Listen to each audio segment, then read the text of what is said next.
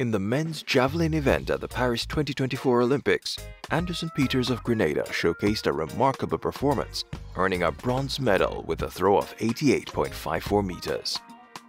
This achievement marked Grenada's first ever Olympic medal in the javelin throw and added to the island's growing Olympic legacy.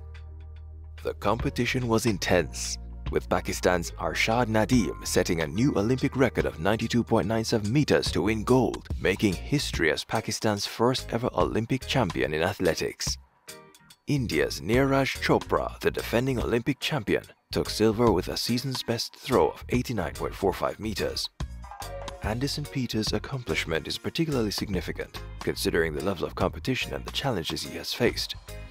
After a less than ideal performance at the Tokyo Olympics, Peters came into the Paris Games determined to secure a place on the podium, which he did with a powerful third throw.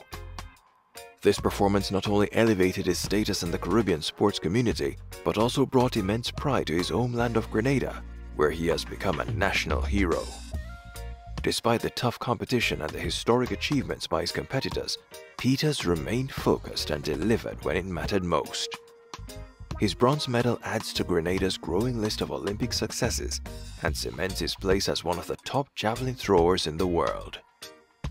The Caribbean's athletes, including Peters, continue to demonstrate their prowess on the world stage, overcoming numerous challenges to bring glory to their nations. What did you think of Anderson Peters' historic bronze for Grenada?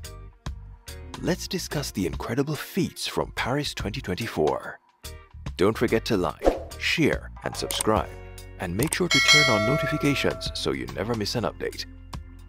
We're your one-stop for everything Caribbean athletes. This is Caribbean Focus Sports. See you in the next video.